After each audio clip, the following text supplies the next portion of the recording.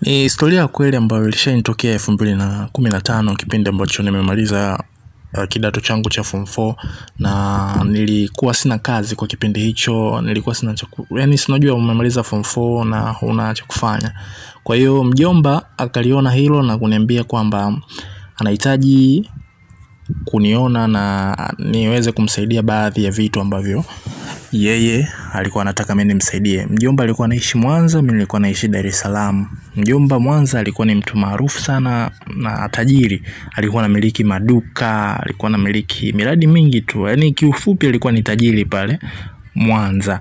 Sasa nikaweza kusafiri hadi Mwanza na kupokelewa vizuri tu na mjomba na kufika kwake basi mjomba akanikaribisha vizuri na mke wake na watoto wake ambao walikuwa ni wadogo sana.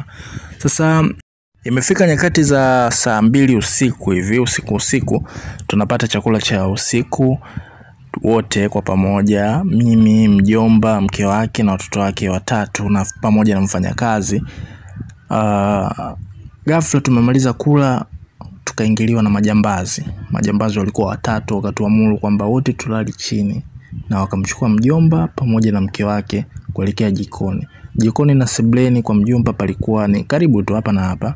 Kwa hiyo wakaingia chumba cha pili ambacho kilikuwa ni jikoni na nikawa nasikia mazungumzo ya jambazi akimwamuru mjomba atoe hela. Yaani wao walikuwa na shida na pesa. La sivyo nitamwamrisha mwanao aje kukufanyia kitu mbaya wewe aidha kukubaka au kukuua au kum, kufanya mapenzi na mke wako.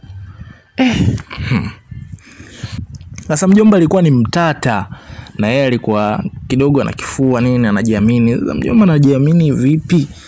Nikasikia mimi sina hela. Mjomba aka- akawa anawaambia wale majambazi bana mimi sina hela kwa sauti fulani hivi ya kibabe. Bana mimi sina hela sinajua zile Nikaona, mm, hmm. sasa majambazi wakamwamua waka- mara ya kwanza ya pili ya tatu bastola ikapigwa. Mungu wangu. Afu sauti ya mjomba ikatoka ya kama makelele kuashiria kwamba mtu kapigwa. Na kweli alipigwa bastola ya mguu. Mjomba akaumia aka- akapiga kelele sana. Ni "Ah!"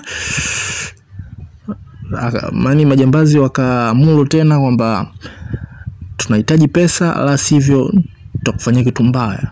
Hatujaja hapa kwa shari.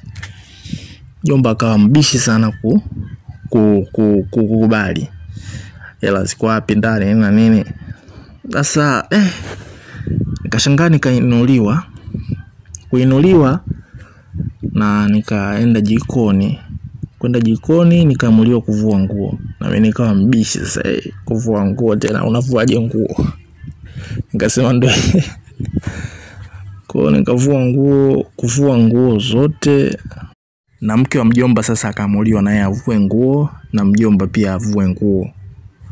Sasa si nadhani walijua kwamba mimi ni mwanao mwanae mjomba wa kwanza kwa vile nilikuwa mkubwa na wale wengine wadogo walikuwa ni bado wadogo wadogo. Kwao nahisi walidhani mimi ni mwanae wa kwanza. Kwa hiyo akaniambia, wewe fanya mapenzi na mama yako